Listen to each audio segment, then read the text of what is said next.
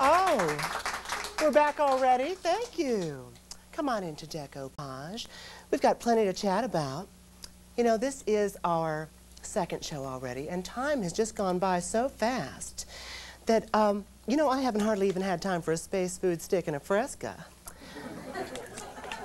But uh, anyhow, we are so glad to be back here. Our ratings are rising. We're getting so many cards and letters, and I'm feeling just great about the show. Actually, I got a very special gift. I want to show that to you.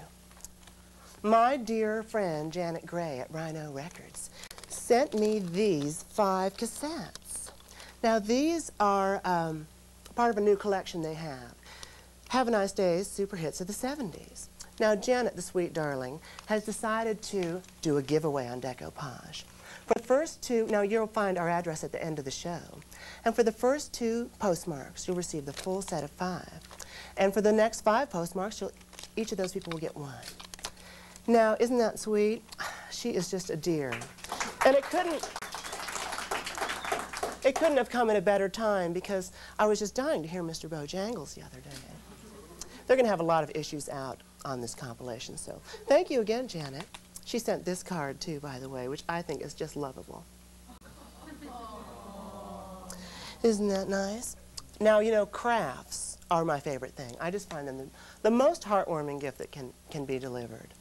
And Amona Haggard out of San Jose, California, sent me these beautiful fashion oven mitts, which I find to be perfect for that heavy-duty casserole grip. Aren't these nice? And Mona sent a beautiful card. I just love this. She wrote on it, a special gift for a hot dish. Thank you, Mona, I think. And then there is this card. This is a real jumbo.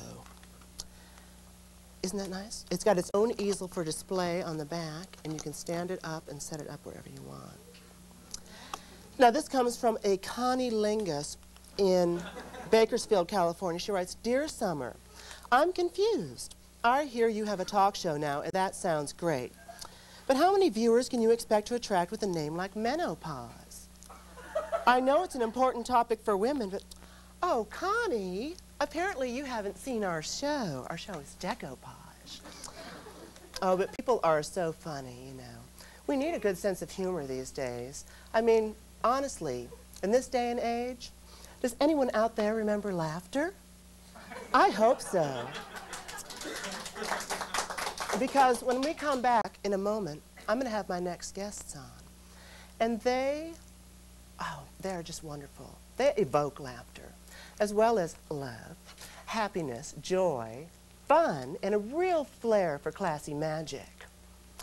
They are ultra, ultra mind smasher superstars on the rise.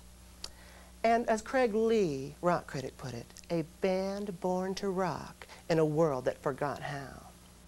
They are incredible. I'm jazzed. I think you're going to enjoy the sounds and vibrations of Redd Kross. right after this little break on Decoupage.